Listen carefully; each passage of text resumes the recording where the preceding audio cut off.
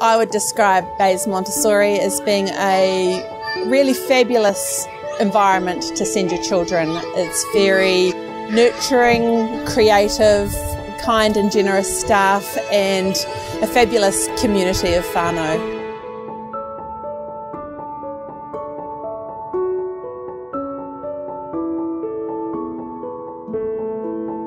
I see Bays Montessori preparing children for life. You know, from the time a child is born, they um, are on a path as they begin to develop of um, discovery, a journey of uh, self construction. And when they come to a Montessori environment at two and a half, three years old, they enter an environment that is prepared especially for them. They see child sized furniture, apparatus, and activities that are ready for them to begin once they've been presented the material to begin exploring. With that comes freedom of movement, freedom of repetition. They can choose to work by themselves, with a friend, or with a group of children. So they're getting a lot of positive affirmations to aid their self construction.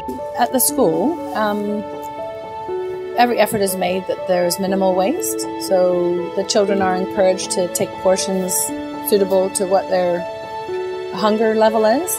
Um, the scraps from our garden waste and from our lunchtime is all um, incorporated back into various compost piles.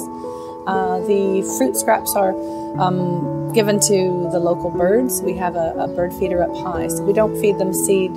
Um, ideally, we are supporting the native and endemic birds, so we'll just provide um, fruit scraps for those species that eat that. At Bays Montessori, um, it's really geared up for children to be um, developing their skills of independence.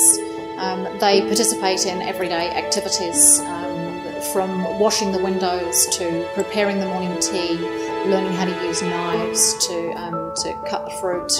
Um, in every aspect, children are encouraged to do things for themselves if they're able to, and if not, then taught the skills to be able to do themselves. The, the equipment and the resources are set up for you know children to have a real passion about learning and hands-on learning.